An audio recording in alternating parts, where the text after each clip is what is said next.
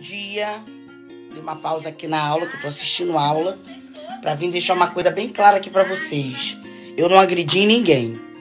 Tá lá o pessoal da supervisão da escola que estava presente na situação para comprovar esse acontecimento aí de ontem. Como eu sou uma pessoa muito e muito menos ameacei porque eu não sou mulher de ameaça, vocês sabem disso, né? Mas vamos lá. É, essa bonita aí tá desde as outras aulas semana passada de deboche comigo, mas até aí tudo bem, eu arquivando, né? Aí uma outra bonita, desocupada, porque eu acho que grupo de faculdade é para falar sobre trabalho de faculdade, não para não para fazer fofoca e nem querer saber da vida do, do outro, né? Não interessa. Botou assim: a tal da Todinho foi pra faculdade hoje. Aí essa aí respondeu: não, kkkk. Aí depois botou assim: e ela veio, nem vi. Deboche.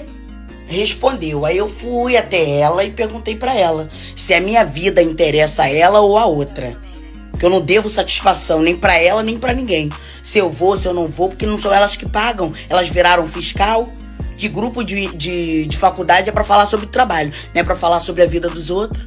Aí ela se armou para mim. Ela se armou para mim, foi acontecer o que tá aí no vídeo, mas não agredi ela momento algum, tá bom? Tem tem a supervisora Nilma, tem várias outras pessoas que estavam presentes de prova na situação. Foi isso que aconteceu. Simples, as pessoas têm que parar com essa mania de querer opinar e se meter na vida do outro. Se eu vou ou não vou, deixo de ir, isso é um problema meu. Não de respeito a ninguém. Se tivesse cada um cuidando da sua vida, isso não teria acontecido. Entendeu?